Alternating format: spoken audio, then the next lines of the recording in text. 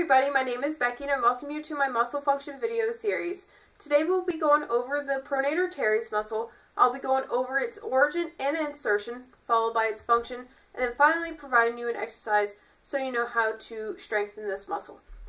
So let's start off the location and then we'll build on from there.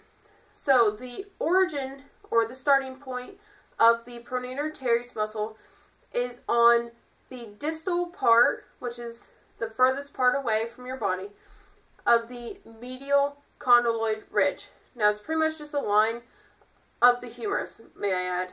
Uh, now, that's pretty much just a line that runs up the side of the uh, humerus here.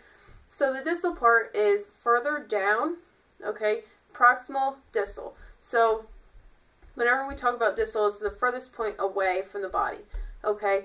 So it's on the medial portion, meaning it's closest to the middle part of your body, okay? So it's on the distal portion of the medial condyloid ridge of the humerus, okay? And it also originates or starts on the medial part of the proximal ulna, okay? And that is the bone pretty much just below here with the palm facing out, okay? So it pretty much originates or starts in two spots here, crossing that elbow joint, okay? And then it inserts onto the middle third of the lateral portion of the radius bone, okay? So that's the bone just to the other side of your ulna, okay?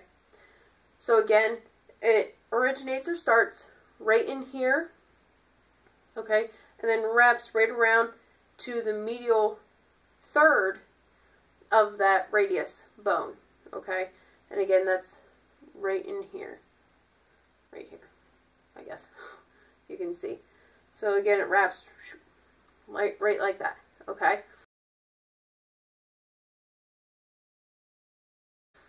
So the function of the pronator teres muscle, since now we know the location of it, is to do just as pretty much the name of it says, okay?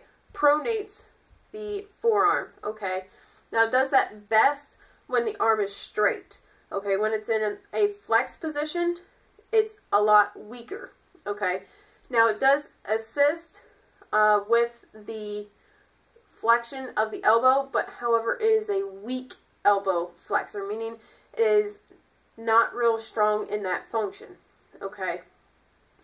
So if you were to curl up, okay, you're working that pronator teres muscle, okay, because you're keeping it from rolling out, okay? You're keeping that weight steady. However, it is a weak elbow flexor. It is strongest when the arm is straight and you are pronating the forearm, okay? So which brings us to our exercises, okay? For the exercise for this muscle, since it is kind of like a small muscle and it has one main function that it does very well, which is pronation of the forearm, okay, is to work the muscle in that way, okay? So if you were to take a weight and hold it palm side up and pronate your forearm, that would be the exercise. I will provide an example for you with the weight. You could also do this with a weight that's more one-sided than the other. It would be best if uh, the most of the weight was on the side of the pinky. And then you can work pronating that up against gravity. Okay, so I'm going to go ahead and insert the video for the exercise. But first, I'm going to go ahead and insert the photo so you know exactly where I'm talking about, okay? And then we'll move on to the exercise video portion, okay? So stay tuned right here, and you will be able to view that.